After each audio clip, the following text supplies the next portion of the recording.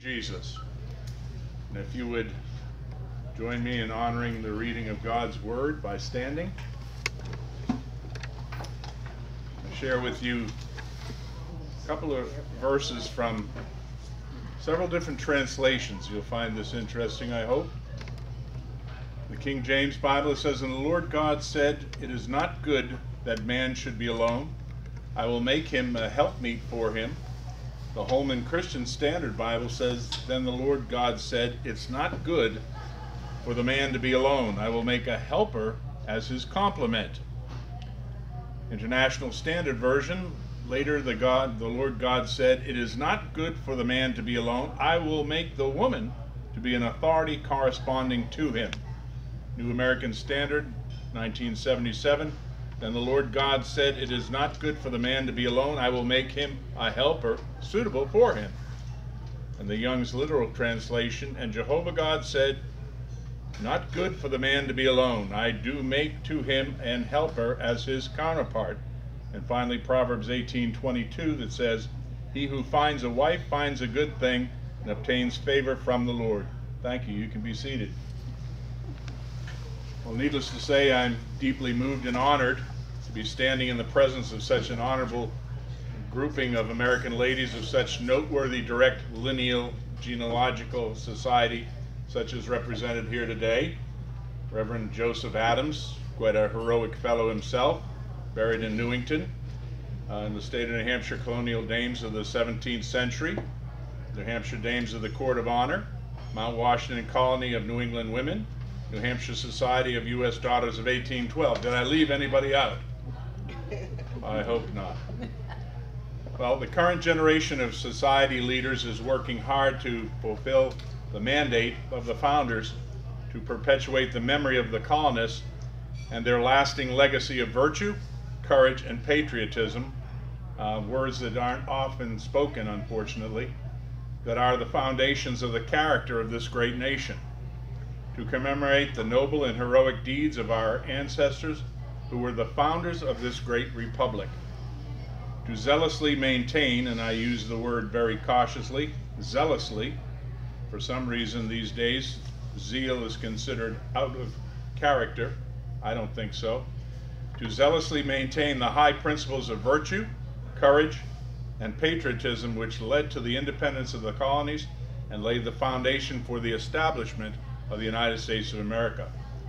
And so you have my attention and my salute and my dedication to the self-same objectives that I have just stated that I know that are part of what your organizations stand for. And let's just say my challenge to you today, my encouragement is founding fathers, yes, and founding mothers, too. This month, as I'm sure you're well aware, we celebrate and commemorate the Committee of Five of the Second Continental Congress were a team of five men who drafted and presented to the Congress what would become America's Declaration of Independence of July 4, 1776. This Declaration Committee operated from June 11, 1776 until July 5, 1776, the day on which the Declaration was published. And as we speak, the Massachusetts uh, Society Daughters of the American Revolution and Massachusetts Society Sons of the American Revolution are in the Granary Cemetery in Boston on Tremont Street right now, paying respect to these very people uh, for the very reason. The Committee of Five of the Second Continental Congress were a team of five men, as I said, who drafted and presented to Congress what would become America's Declaration.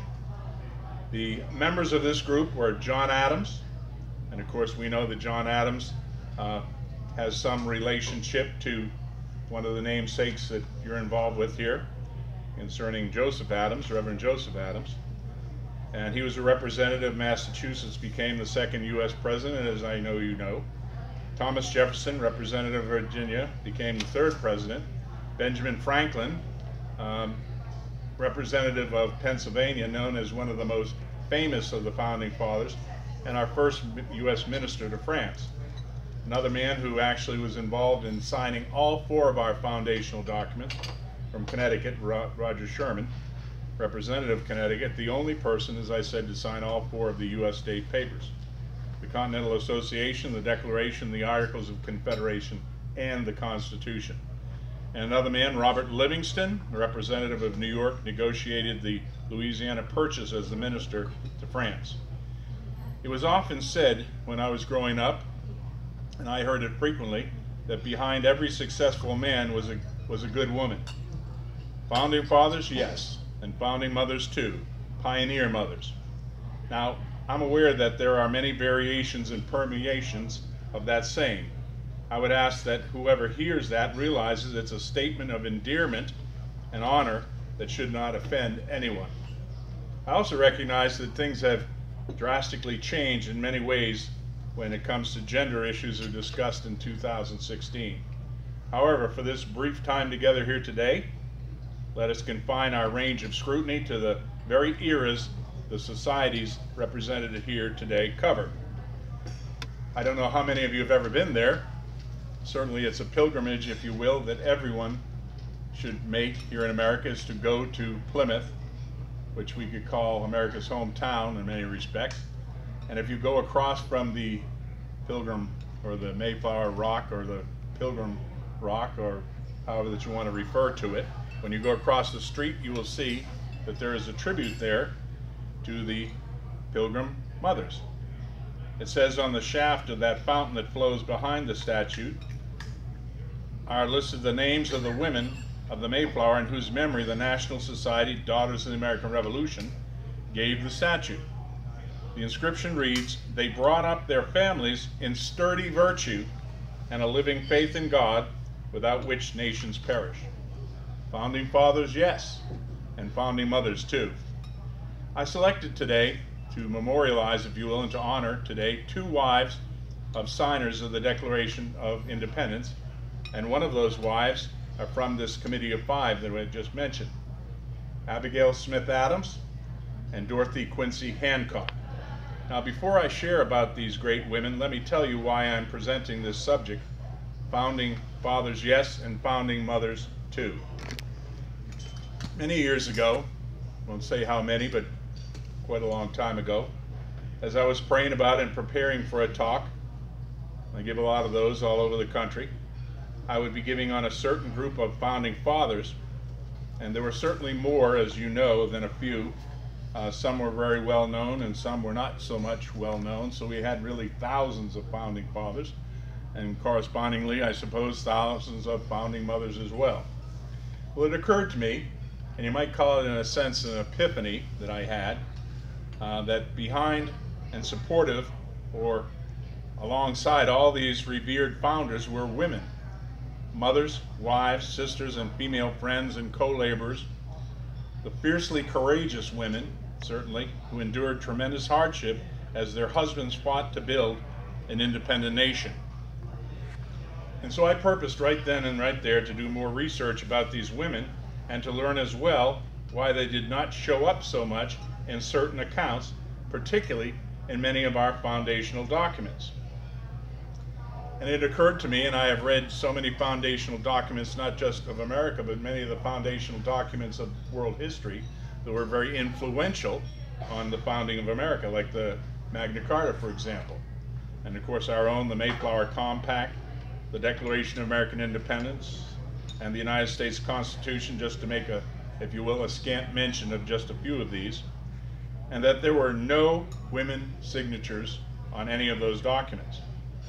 And certainly not uh, that they would not have signed for lack of courage or patriotism. Then why no women's signatures? At first I thought about certain attitudes that I've heard and rumors of such as keep them pregnant and in the kitchen. But that flew away in the presence of the documented high regard that especially our founding fathers had for their wives. Founding fathers, yes, and founding mothers too. Then I also had to consider that our founding fathers had a biblical worldview and desire to live according to the promises of Scripture, uh, such as, but not limited to, the following Ephesians 5 in the relationship of husbands and wives, or 1 Timothy chapter 5 verse 8, a man providing for and protecting his family, or Philippians 2 3, do nothing out of selfishness or vain deceit. So, why then? Why no women's signatures? Because signing those documents, stop for a moment. Because signing those documents was considered men's work. Now, I know a lot of people will bristle at that. It's not because of gender bias at all. It's because of protection. And think about this. It was dangerous, especially to sign the Declaration of American Independence, which I otherwise call, at least from the British perspective, known as the Confession of Treason to the English Crown. You hear me say that? the Declaration of American Independence, which many people today would say, I'm so glad I would sign that declaration. I would be wonderfully happy to have my signature on that document and be in the Smithsonian. Well, in 1776, you would not have wanted to have your signature on that because this is what would happen to you. A confession of treason to the English crown, a jailable, hanging, drawn and quartered, etc., etc., etc. offense. And so the founding mothers certainly suffered too, but not for the lack of loving protection or concern of their fathers and their husbands. Two such women were Abigail Smith Adams and Dorothy Quincy Hancock. Abigail Adams, often known as the First Lady of Faith and Courage, and Courage in the Hall of Heroes or Heroines, a providential view of American history, she wrote, and these are her own words on her husband's election to the presidency. And now, O Lord my God, thou hast made thy servant ruler over the people. Give unto him an understanding heart, that he may know how to go out and come in before this great people, that he may discern between good and bad. And I can tell you, I'm thankful for my wife to pray that kind of a prayer for me, the way that Abigail Adams prayed for her husband John. On politics, that cannot be politically right, which is morally wrong. On the need for Christian society, I am no friend of bigotry, she said, yet I think the freedom of inquiry and the general toleration of religious sentiments have been, like all other good things, perverted, and under their shelter, deism and even atheism have found refuge. And just a little addendum here, I have said there is really no place for an atheist in America. And the reason why is because atheism is not part and parcel with our founding, nor is atheism part and parcel with any of our foundational documents, and certainly not the least of which of what the Declaration of American Independence says concerning Creator with a capital C. That's very important that we understand that. And the issue of deism, of which has been an accusation made against many different people, including John Adams, John Adams was not a deist, I can tell you that. Neither was, and he was a pastor's son, as uh, Abigail Adams was also a pastor's daughter. They were not deists. And even if they were deists, deists then would not be what deists are today. Deists then meant basically uh, somebody that believed that there was a God and God had created. Today, people have a different view of all these things. So it's important for us, particularly of our lineal societies that we understand what we're really about and that we can teach these things. She also wrote on the issue of slavery. I have sometimes been ready to think that the passion for liberty cannot be equally strong in the breasts of those who have been accustomed to deprive their fellow creature of theirs.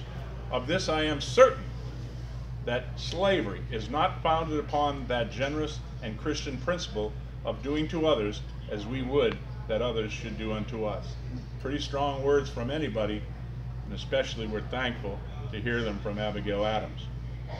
On living the Christian life, the race is not to the swift, nor the battle to the strong, but the God of Israel is he that giveth strength and power unto his people. And now, Dorothy Quincy Hancock. Of course, she had the honor, if you will, of being the wife of the first signer of the Declaration of American Independence, and you know, of course, that John Hancock purposely signed it nice and big so that the King of England could read his name without his spectacles on and offer a very high bounty on his head. She was one of ten children of Judge Edmund Quincy and Elizabeth Wendell. She was known as a bright, unspoiled beauty that flattery could not harm, an enthusiastic patriot. She was also present at the Battle of Lexington, and she was at the pastor's house, Parson Jonas Clark, one of my favorites, and she observed what went on from the window. It's an interesting thing when we hear, and I always tell people, don't you think for one minute that we fired the first shot. We did not fire the first shot. I can prove that through over a hundred affidavits. I had one that just came into my uh, possession last week that I will be reading at Bunker Hill Day for all those people that try to say that we didn't fire, they fired, uh, we didn't fire on them, or we did fire on them, we fired first. No, we have affidavits, including who later became Mrs. Hancock, that she watched the whole thing. So that was quite a thing to, to observe and to know, wouldn't you say? Now, she married John Hancock August 23, 1775, in Fairfield, Connecticut, at the home of Reverend Burr by Reverend Elliott. They honeymooned in New York and Philadelphia. You can imagine why they were honeymooning in New York and Philadelphia because their honeymoon was to be there at Continental Congress. Beauty, politeness, and every domestic virtue, said John Adams about her. And John Adams, incidentally, was also a frequent visitor to her father's house and was interested in her as well. She had a very warm friendship with Martha Washington, and they had frequent visits. She was also known as very generous, hospitable, and resourceful. Well, I trust that in this short time that we've been together here today, I've certainly given you much to consider, I know, and I perhaps, and maybe not quite so subtly, issued you a challenge for your own lives, and for right now, our beloved republic needs you. Founding fathers, yes, and founding mothers too. Someone has stolen our country. I know I did not sell her or give her away, and I want her back, and I want her back now. Amen.